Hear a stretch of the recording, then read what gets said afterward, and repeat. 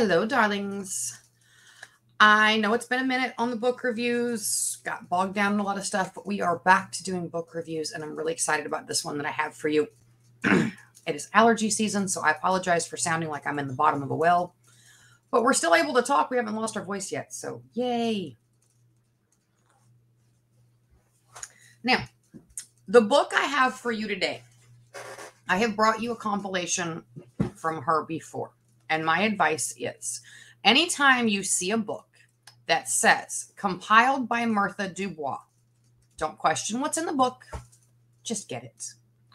Myrtha has an innate talent to be able to bring together the best of the best and pull out stories that they didn't know they had to tell or they didn't quite have it figured out on the wording yet and takes them and organizes them into these amazing stories. Now, today we have whispered messages. Whispered messages is all about those moments in your life where things happen that there's a message that you don't quite see right off the bat, whether it's something that someone says to you that you realize later on down the road that, oh, that was important. Not like, oh, that was important, like something I should have remembered, but oh, that was life changing. That one phrase changed my life. Or if it's something that you see over and over and over in print, or if it's a random thought that reframes how you look at the world, those are whispered messages. Those are the things that sneak in in the background that you don't really notice when they arrive, but one day you realize that, oh, yeah, so and so said that. I read that. That just popped in my head. These are the important things that you need to pay attention to. Now, specifically with this book, it is 11 stories.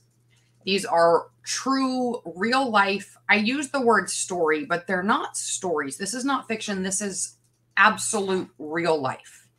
But here's something that I really like. One, these pages are stunning. You know, you open a book nine times out of 10, and it's the standard off white or white page with black text on it.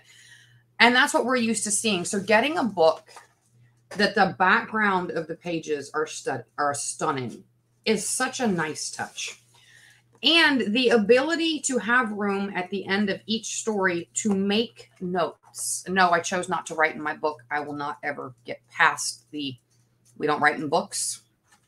I use sticky notes, not gonna lie.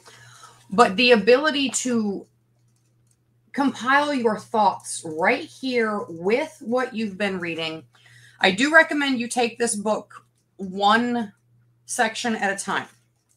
Read a section, sit with it, think about it, see what it makes you feel and what you personally pull out of the text, and make notes. Then go through this book like that and set it down.